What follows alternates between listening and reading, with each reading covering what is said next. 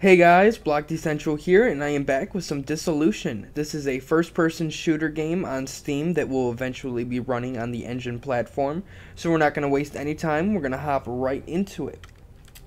Alright, so we're going to begin by creating a server and hopping into the game. You can have up to 32 players per server. Currently, they have two different levels with two different game modes that you can choose between. You have SS Lucidity and the second map, as well as Assault and another game mode. I believe the second one is person versus person directly, and there haven't been enough active players yet to try that one out. So I've been sticking to Assault, which is against AI drones. Now you can also choose the amount of drones that you want to have against yourself, so each person can have between like 1 and 20 drones against them, which can make this game quite challenging if you have, say, 10 drones per player and 8 players playing, making around, you know, 70, 80 drones flying around the map, bombing you, blasting you, and killing you without any warning, making this quite the uh, challenge. There's a lot to come to this game, there's a lot being developed at the moment, there's a few bug fixes, and a lot going on. They have a zombie mode that they plan on releasing within the next week or so. Uh, their final plan for this game is to be an open uh, sandbox MMO space game. So right now it's just uh, you know primarily first-person shooter in this massive ship However, it is very detailed, everything looks great, the graphics are amazing, the gameplay is super fun already, and there's a lot that you can do. As you can see, I have the spacesuit on here, and I am able to fly around the entire map, uh, going in any which way and direction, shooting the drones, uh, kind of on a more even playing field considering now that we are both flying and can uh, pretty much go anywhere in the map. Now, as I mentioned earlier, this game is going to be integrating the Enjin platform, so we will be seeing non-fungible tokens sometime down the line. They plan on having a sale or pre-sale for the non-fungible tokens in Q4 of this year, so at the end of 2019, after the alpha is officially uh, finished and the you know release is close at hand, and uh, besides that, they have a lot of other features going on as well. So they plan on eventually becoming part of the multiverse.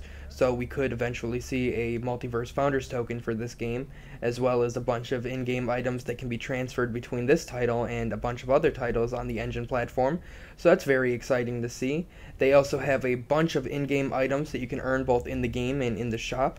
So when you're playing, you have the backpacks that contain the spacesuits, you also have weapons and med kits and a bunch of different factors of that. Uh, you can go on the shop when you're in the main menu and actually spend your in-game credits on different weapons for your loadouts, different weapons, armors, uh, different uh, you know sidearms and things like that. It's currently closed at the moment. It's in development because, as I said, this is in very early alpha access. However, it is one of the things that they are focused heavily on, so it should be up hopefully within the next few weeks. Now, besides the zombies launch, they are planning a bunch of other features down the line, such as the space combat and the uh, spaceship combat. So we'll be getting ships that we can, you know, undock from and go and fly around the universe, have battles and collect loot in space as well. So that's going to be very exciting. However, right now they are primarily focusing, as you can see, on the first-person shooter side of things, and I am very much okay with that. This game has been in development for the past nine months or so, and they've been staying pretty much hidden this entire time. They've been trying to focus more more on content first, profit second, which I really appreciate. There's not enough crypto games out there that are focusing on the actual gameplay and the fun side of it, other than the profits and the digital assets and tokens. Not that that side's not very important. However, for games like this, uh, we definitely want fun as well as profitability as well as the fact that there's very little first person shooter games running on blockchain technology. There's this, there's Warfield, which is pretty much completely shut down, as well as Containment Corps, which is the other one running on Enjin. So there's, you know, some small little hints of games coming out, but really nothing solid.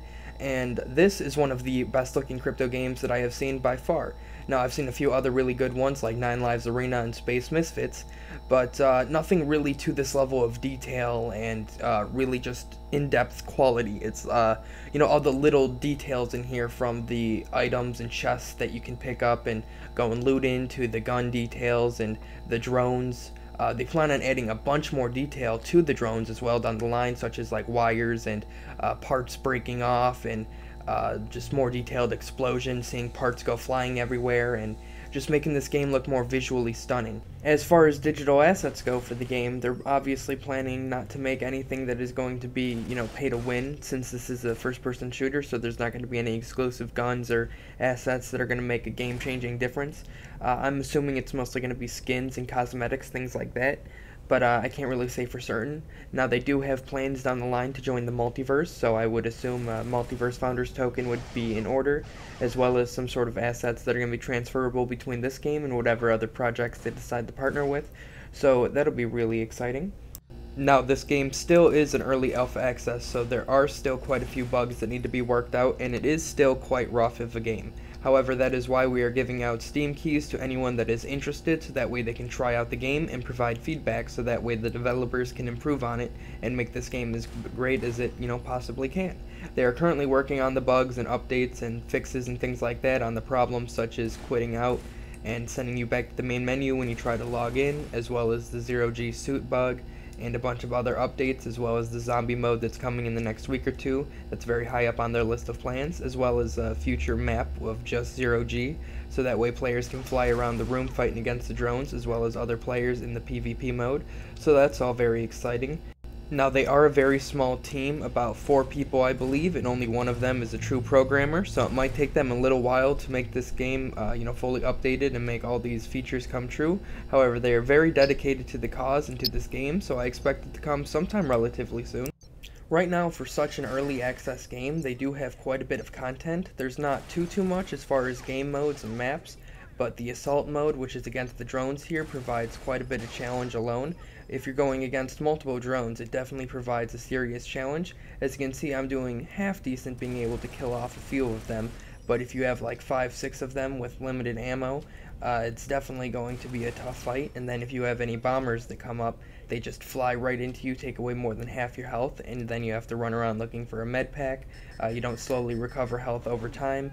Uh, you don't have unlimited ammo, so you have to be searching everywhere for items that you can collect, meanwhile trying to go to the waypoints and activate them, while at the same time watching out for the drones, shooting them down, trying not to die, and uh, trying to win the match. As you can see, we just currently won.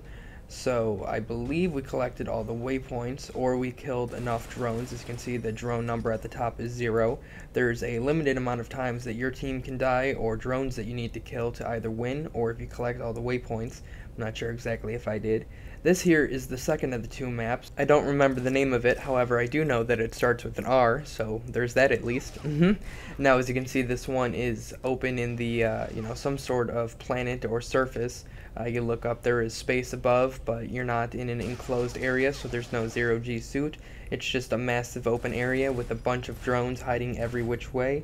And uh, yeah, some more waypoints that you have to go and collect, and this map is quite the challenge. But as you can see, it's very, very detailed. Both maps have a lot of uh, you know little details in them, and they really focus on the actual graphics and quality and I gotta say, I really appreciate that. There's not enough good looking crypto games out there.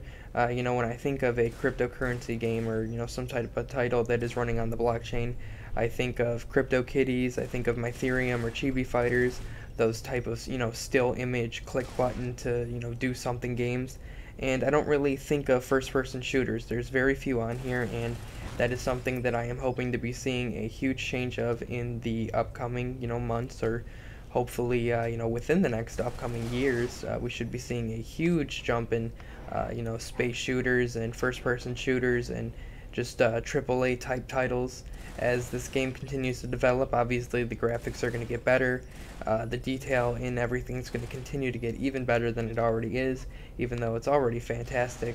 Uh, as you can see, I'm actually able to take on a few drones after a little bit of gameplay. So once you figure out, you know, mouse and keyboard combat and uh, you know, playing first-person shooters on the PC, it becomes slightly easier than uh, when you first begin, but as everything, once you actually get some experience, it becomes, uh, you know, a bit easier. You can set the specific amount of drones that can be in the map at one point, uh, depending on the amount of players that are in the game. So as you continue to kill them off, they will keep respawning until the amount you need to kill reaches zero, or you collect all the waypoints. So that's pretty much it for Dissolution at the moment. I'll definitely be back with a bunch more gameplay and updates down the line. I hope you guys enjoyed the video. Don't forget to like, subscribe, comment, and share. Don't forget to check out our Patreon page as well as the social medias for Dissolution. And as always, I hope to see you all in the next one. So, peace out.